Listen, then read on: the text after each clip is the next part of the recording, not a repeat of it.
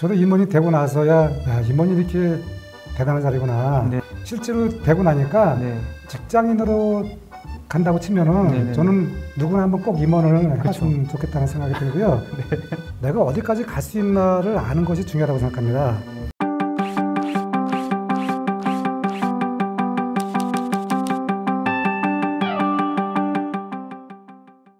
안녕하십니까 성장일기 꿈꾸는 자문가입니다. 네, 오늘은 어, 정말 대단한 이력을 가지신 분을 모셨습니다. 바로 사실 당신이 보석입니다 라는 책을 쓰신 이승규 작가님이신데요. 어, 국제 보석 감정사 자격증을 취득하시고 또 세계적인 기업에서 임원도 하시고 업계 최초로 카카오톡과 제휴도 하신 분인데요. 어, 간단하게 자기소개 한번 해주실까요? 네, 오늘 귀한 자리를 마련해 주신 우리 이건복 대표님 감사드리고요. 사실 제가 이번에 그 인터뷰를 앞두고 마음이 좀 설레었습니다. 제 지나온 과거가 외형적으로 보면은 글로벌 기업 사장까지 하고 체벌을 네. 누렸지만 네. 내면을 보시면은 이 책에서 말씀드린 것처럼 천연 보석은 다 흠이 있습니다. 네. 근데 저도 마침 공교롭게 제 운명적으로 다섯 번의 그 어려움을 만났고 네. 또 변곡점마다 참 어려움이 많았지만 그것을 극적으로 또 이겨내서 제가 책을 내는데 네. 그 저의 지나온 그 힘겨웠던 스토리가 네. 많은 도움이 되었거든요. 네. 저는 어떻든 직장 생활 34년만 했고요. 네. 제 연배에 비해서 저는 이렇게 도전을 좀 통해 가지고 위험한 도전을 통해서 네. 안정적인 것보다는 네. 다섯 번의 이직을 통해서 네. 많은 경험을 해 가지고 네.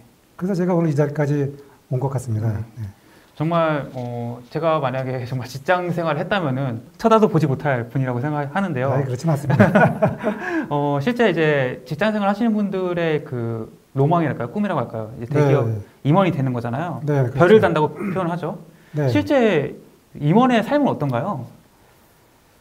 경험을 해보기 전엔 모르잖아요. 게 그렇죠. 세상에 예. 되는 게. 네.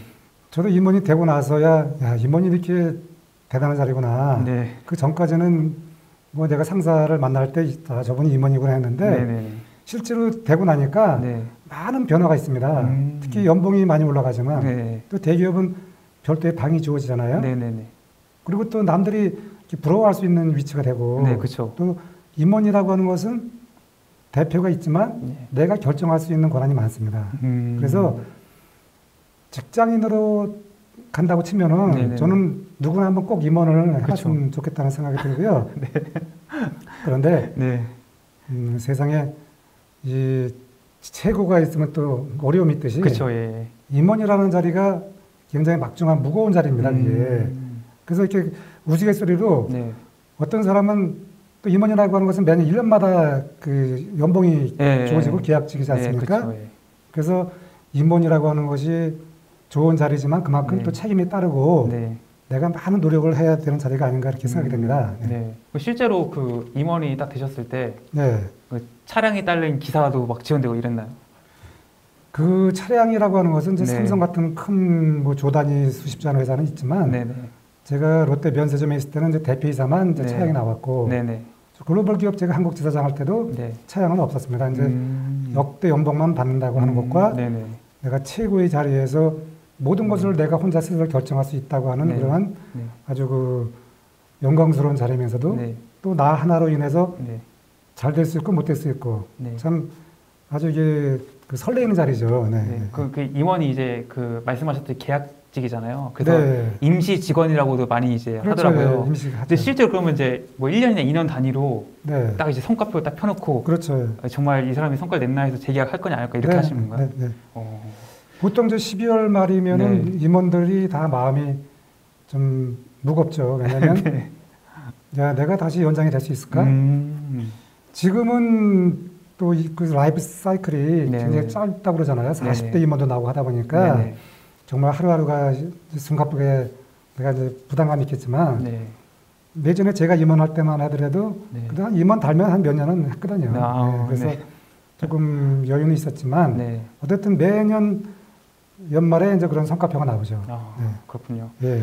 이제 사회적으로 이제 누가 봐도 사실 뭐 성공했다고 이제 표현할 수밖에 없을 것 같아요. 그 이제 작가님이 생각하시는 이제 성공의 정의는 뭐라고 생각하세요? 네. 네. 저는 사실 제가 네. 아, 솔직히 말씀드리고 제가 또 저는 네. 그렇게 살아왔고요. 네. 저는 이제 성공이라기보다는 네. 음, 내가 먼저 내가 어디까지 갈 수 있나를 아는 것이 중요하다고 생각합니다. 음, 네네네. 저 같은 경우는 대학교 들어갔을 때 네. 내가 대학교에서 이제 저는 명지대학교를 나왔기 때문에 네네. 내가 사회에 나가서 인류대학교와 경쟁해서 이길 수 있는 것이 무엇이냐 네네네. 이때 내가 성공할 수 있는 걸 따진 게 아니라 네. 내가 무엇으로 그 상대방을 내가 이길 수 있나 음. 그나 이제 컨텐츠를 따졌는데 네네네. 저는 성공을 따라가기보다는 네. 내가 꿈을 꾸고 네. 또 내가 꿈이라고 하는 것이 그냥 내가 무자비한 꿈이 아니라 내가 네. 정말 가능한 꿈을 꿔야 되거든요. 음, 네. 근데 본인이 나를 가장 잘 압니다. 그렇죠, 그렇죠. 네, 그래서 저는 아 내가 영어에 올인하자. 네. 그러다 보면은 내가 사회 나가서 뭐 할 수 있다. 네. 그게 예상이지 정확한 건 아니잖아요. 그쵸, 그쵸. 그렇지만 내가 주어진 그 현상 현실에서 네. 최선을 다하고 열심히 해서 네. 꿈을 꾸고 따라가다 보면은 네. 저는 그것이 오히려 성공보다 네. 더 그 좋은 그런 결과가 오지 않을까 저는 그렇게 음. 생각합니다. 네, 그러니까 자신의 꿈이라든지 자신이 이제 하고 싶은 것들을 해가면서 사는 삶이라고 네? 그렇죠. 음, 요즘에 이제 조금 이제 이런 열풍이 좀 강해진 것 강해진 것 같은데 네, 파이어족이라 해가지고 네, 네. 이제 네. 빨리 이제 회사 다니다가 음. 빨리 돈 모아서 퇴직하는 이제 이런 열풍이 불고 있어요. 임원의 입장에서 어떻게 생각하세요? 이런 열풍에 대해서? 글쎄요, 네. 인생이라고 하는 것은 자기 자기 인생 자기가 개척을 하는 건데 네, 네. 저 같은 경우는 우리 부모님 세대가 네. 우리한테 한 얘기가 뭐냐면은 네. 이 대표님은 젊으시니까 모르셨을 거예요. 네. 공부해서 남주냐? 네. 공부하라밖에 없었습니다. 어떻게 네. 하라는 게 없었고 음. 공부 잘해라. 열심히 공부해라. 네. 근데 지금은 이제 많은 그런 코칭을 받을 수 있는 기회가 있잖아요. 네, 네, 네. 제가 직장생활 할 때도 중간에 네. 중간에 직장인과 이 직장인 장점이 뭐냐면 내가 또박또박 급여가 나오잖아요. 네, 그렇죠. 또박또박 급여가 나와서 그게 참 고마운 일인데 한편으로는 음. 그 기업이 또 어려움이 처하면 내가 퇴직을 해야 되잖아요. 그만두거나 네, 네. 또 그- 우리가 지나온 30년 과거를 보면은 저 같은 경우는 운이 좋아서 네. 롯데그룹이 한 번도 그런 어, 외형에 휘달린 적이 없어갖고. 네. 꾸준히 직장생활 했지만 네. 또 대우라든가 이런 나머지 기업 다니는 분들은 중간에 아, 그렇죠. 그 망하게 됐죠. 예, 성장을 많이 이제 할 수 있는 자리에서 그만뒀거든요. 네. 그래서 저는 어, 직장인을 하면서 직장인 하면서 중간에 그만두고 아, 돈 좀 벌어야 되겠다 하고 사업을 하는 분도 중간에 많이 봤습니다. 네, 네. 근데 그분이 다시 사업이 꼭 잘 되는 게 아니니까 그쵸. 다시 직장인을 하는. 경우도 많이 봤거든요. 네. 왔다 갔다 하는 이제 많이 봤는데 네. 저는 요즘에는 이제 시대가 많이 바, 바뀌어서 네. 그 시대에 바뀌는 건 참 저도 맞다고 생각합니다. 왜냐하면 갈수록 그 직장 생활보다는 네. 창업할 수 있는 기회가 많이 생기잖아요. 그렇죠, 그렇죠. 그래서 어, 내가 현직에 있을 때 네. 대학생이나 직장인이나 누구나 그 현직에서 최선을 다하고 네. 최선을 다하고 내가 5년, 10년 뒤를 준비하고 꿈꾸고 나서 그때 가서 음. 내가 새로운 것을 하는 게 좋다고 생각합니다. 저는 네. 그냥 내가 이 자리에서 그냥 음. 하고 싶다가 아니라. 저도 좀 아쉬운 게 네. 제가 지금 저도 새로운 거를 준비했지만 네, 네. 아, 좀 더 5년 전에 일찍 했으면 좋았지 않았나. 네. 그래서 퇴직을 미리 앞둔 사람들은 그것을 빨리 결정하지 말고 음. 좀더 신중히 내가 5년, 10년, 20년 뒤에 과연 내가 이 새로운 그 도전하는 길을 갖고 갈 수 있나 정말 신중하게 생각한 다음에 네. 그때 아, 과감하게 이제 자기가 그 새로운 도전을 하는 게 좋지 않겠나 저는 음. 그렇게 생각이 들어갑니다. Hey, Been losing all momentum. Just because it's easy,